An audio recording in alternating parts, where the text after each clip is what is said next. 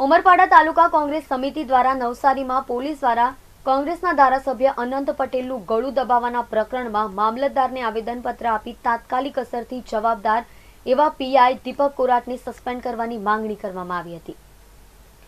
ઉમરવાડા તાલુકા કોંગ્રેસ સમિતિના હોદ્દેદારોએ પોલીસ રાજકીય હાથા બની કોંગ્રેસના ધારાસભ્ય અનંત પટેલ સાથે જબરદસ્તી કરી કોણીથી તેમનું ગળું દબાવવાની કોશિશ કરી હોવાનો આક્ષેપ કર્યો હતો.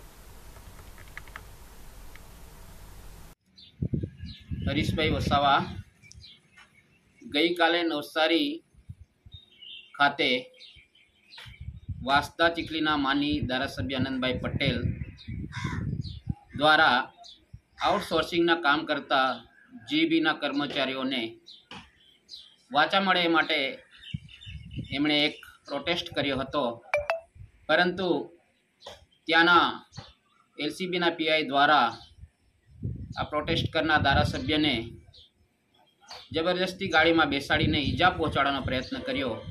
ત્યારે આ પ્રસંગે આદિવાસી સમાજમાં ઘેરા પ્રત્યાઘાતો પડ્યા છે અને હમ- હંમેશા આદિવાસી સમાજની પડખે રહીને સતત વાચા આપતા આવા ધારાસભ્યને જો આવી રીતના એલસીબીના પીઆઈ કૃત્યુ કરતા હોય, તો એમને તાત્કાલિક ધોરણે સસ્પેન્ડ કરી અને આદિવાસી સમાજને ન્યાય મળે એ માટે અમે આજે રાજ્યપાલશ્રીને ઉમરપાડા મામલતદાર દ્વારા એક આવેદનપત્ર